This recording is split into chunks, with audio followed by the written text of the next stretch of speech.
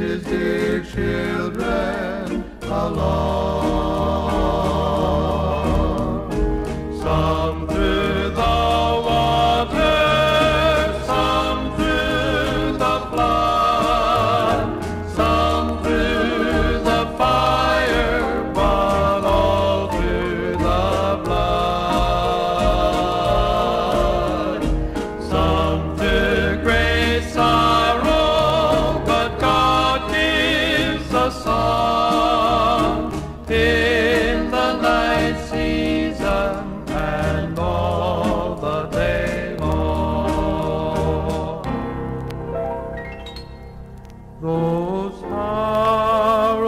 Befall us, and Satan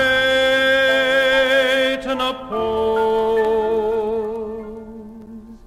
God leads his dear children along. Through grace we can conquer, defeat all our foes.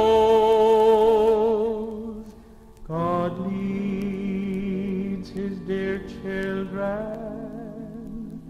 alone.